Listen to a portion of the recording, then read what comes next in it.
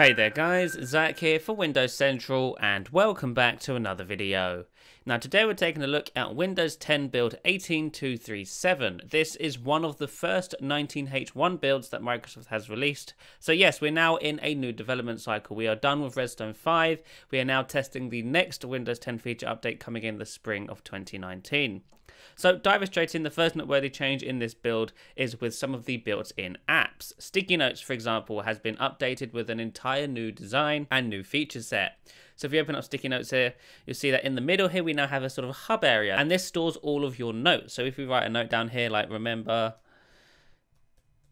to get eggs, you'll see that it saves into the hub here and I can even close this and it will be remembered here as well. What's more, these also sync across your devices. So if you're signed in with a Microsoft account and have multiple Windows 10 devices, you can actually save your notes across different devices and get back to them with ease no matter what device you're using.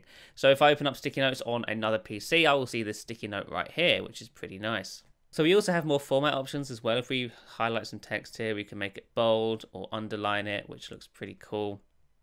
There's also uh, a new color, which is dark. So if you're into dark mode, you can now have dark mode sticky notes as well.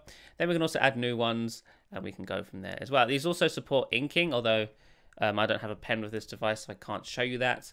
Otherwise, they all work pretty well. And as you see there, they're syncing across devices right now. And I can close these and get back to them at a later date just like that, which is fairly nice. Moving right along, the next noteworthy change in this build is with Snip and Sketch, which used to be called Screen Sketch. Uh, they've changed the name of it now to Snip and Sketch. And um, the only noteworthy change to this here is you can now uh, delay the time it takes to take a snip. So if you're trying to get like a context menu or something, you can set it to snip in three seconds. So I can do three, two, one, and have time to uh, right click on that to take the screenshot. And then there's also a 10 second delay as well if you really need to do lots of different things. Quick, let's open up File Explorer and there, and then let's put them side by side.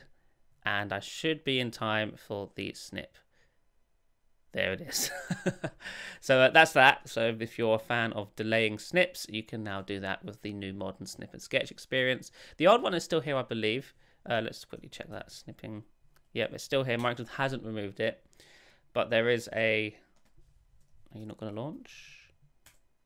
Yeah, there is there is a a warning saying, hey, this is the old one, try the new one. So the last noteworthy change in this build is with the login screen. Now Microsoft is slowly but surely adding Fluent design effects to every part of the Windows shell, and now Microsoft is adding it to the lock screen. So if we hit the enter key here, you'll see that the wallpaper blurs into the background using the acrylic blur effect, and it looks pretty nice. This works with any wallpaper you're using, whether it's a custom one or the Windows Spotlight feature.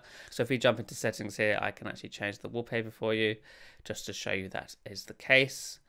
Uh, this is Windows Spotlight. Interesting. Let's use this one. Yep. Let's try it again and it blurs just like that. I think it looks really quite nice. So that's pretty much it for this build. So far, not much is in these builds because this is the very beginning of 19H1's development cycle. Uh, over the next few weeks and months, we should expect to see more features and, and enhancements added to these builds, including the return of sets, hopefully. That's not confirmed. It's just something that we're hoping will show up at some point. But until then, thanks so much for watching, and I shall see you in the next one.